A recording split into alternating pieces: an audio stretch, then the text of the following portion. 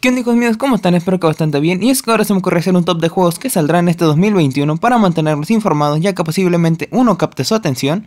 Tengan en cuenta que este top no tiene un juego mejor que otro, así que el sistema de posicionamiento no influye nada ya que todos son por igual. Sin más vueltas vamos a comenzar con el top de juegos más esperados del 2021. Y empezamos en el primer puesto con Devil May Cry Pinnacle of Combat, en el cual de este juego sí hubo demasiadas betas todo el año pasado, al igual este juego antes era conocido como Devil May Cry Mobile, de la cual ha habido cambios considerables tanto en el nombre como en los gráficos, y de acuerdo a las reseñas de los jugadores de la beta, este juego tendrá una historia bastante extensa, al igual que sus combates demasiado frenéticos, así que tendremos su lanzamiento este 2021, aparentemente nomás en China, pero esperemos que este año también saquen la versión global. Y en el puesto número 2 tenemos a The Witcher Monster Slayer. Este juego viene trayendo toda la relación de Witcher, pero con toda la temática de Pokémon GO, donde tendremos variedad de monstruos, el cual tendremos que buscar, atrapar y pelear con ellos, pero con la realidad aumentada, la cual se dijo que saldrá a principios de 2021, pero no sabemos qué tan a principios. En el puesto número 3 tenemos a Naruto Slafek. La verdad es que este juego se ha estado retrasando demasiado, como dos años, por así decirlo. Ahorita sí hay una beta, pero es de servidores asiáticos, y pues al ser asiático seguro tendrás un chorro de lag. Este juego se iba a lanzar en 2020, pero por temas del COVID lo retrasaron, así que lo esperaremos con ansias este 2021. Se rumorea que podría salir el 15 de diciembre con un cambio de en el nombre, como Naruto Lookfest X, pero tocará esperar un poco más este año para que saquen esta entrega tan anhelada por varios jugadores. Y en el puesto número 4 tenemos a Diablo Immortal. Este juego hizo polémica ya que tuvo un rechazo por parte de los jugadores de PC por no gustarles la adaptación a móvil. A pesar de eso, ya se confirmó que saldrá en 2021, no tenemos la fecha exacta, aunque este será desarrollado por NetEase, solo queda esperar y pues claro, cuando salga tendrán por aquí un gameplay para ver si trae todo lo que promete.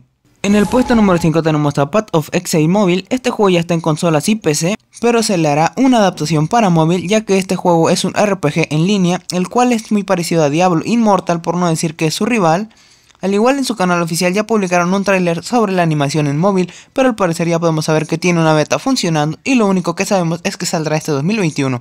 Solo queda esperar a que esta saga sea prometida. En el puesto número 6 tenemos a Nen Reincarnation, es un juego de Square Enix, este juego tuvo una beta el año pasado en Japón, pero ya la página oficial fijó fecha para su salida el 18 de febrero del 2021, pero solo para Japón. Al igual este tiene un sistema de juego muy intuitivo para móviles, es un juego que tiene gráficos muy bien logrados y promete demasiado la verdad. En el puesto número 7 tenemos a The Rogue Haze, pero lamentablemente este juego solo está disponible en la India, pero aparentemente se lanzará este juego para 2021 porque varias personas lo han pedido en la versión global. A lo que los desarrolladores del juego han dicho que sí, pero después de implementar más modos de juego en su beta para oficialmente lanzarlo este año. Aunque creo que actualmente el juego está disponible para PC, si lo descargan por Down ya solo faltaría la adaptación a móvil. En el puesto número 8 tenemos a Durango 2, el cual este juego ya había salido antes, pero exactamente no duró ni un año, así que Netmarble fue a comprar a Nexon, la empresa que creó Durango, así que estarán sacando un nuevo Durango, aunque no sabemos si será un remaster del Durango pasado o la continuación. Pero lo que sí sabemos es que será una secuela a esta increíble saga con buenos gráficos y dinosaurios súper bien logrados. En el puesto número 9 tenemos a Codlife, al cual le hicieron un renombre en su última beta cerrada en China y ahora se llama Dawn Awakening, creado por Tencent, el cual tendrá un sistema de mundo abierto. Tengo entendido que las mecánicas serán como Life After y los gráficos y controles igual a los de Pug Mobile. Al parecer será un juego con una historia demasiado extensa y la última beta pesó alrededor de 4 GB. Ya varios jugadores tienen grandes expectativas de este juego ya que son muy pocos los juegos que tenemos a este tipo de escalas. En el puesto número 10 tenemos a Tower of Fantasy, es un juego parecido al Genshin Impact pero con un toque más futurista de mundo abierto, igual estilo anime, las cinemáticas son increíbles y al parecer también saldrá para consolas y PC, uno de los juegos más esperados por todos ya que promete demasiado, aún no tenemos fecha exacta de su lanzamiento pero cuando salga daré toda la info sobre él.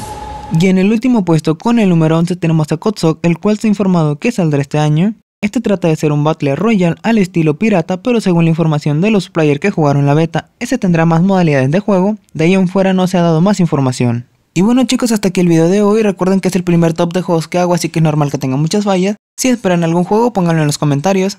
Si les gustó, denle like y compártanlo con sus amigos, y si no les gustó, pues compártanlo con sus enemigos. Hasta la próxima.